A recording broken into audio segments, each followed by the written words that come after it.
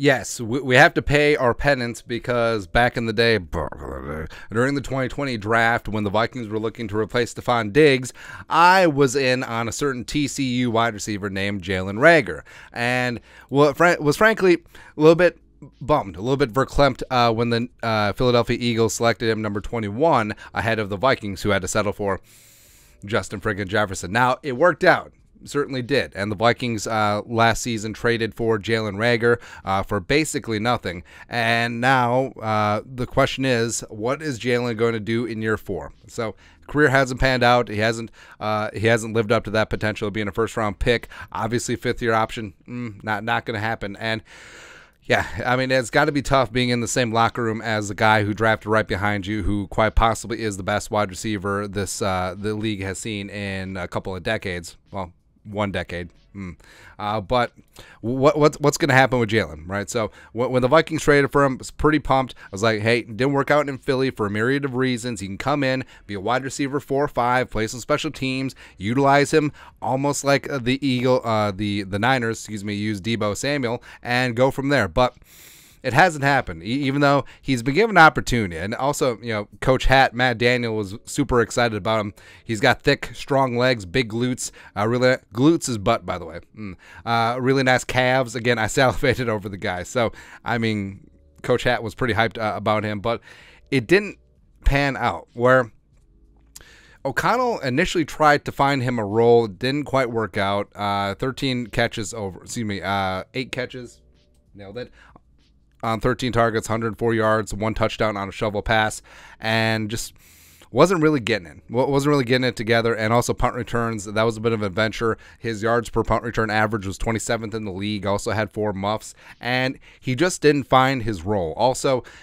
A couple Kirk Cousins interceptions were due to miscommunica- uh, miscommunication by Jalen Reagor, and sometimes he just quit on his route.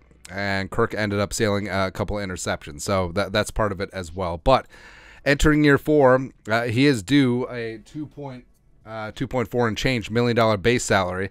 Uh, so does that keep him on the roster?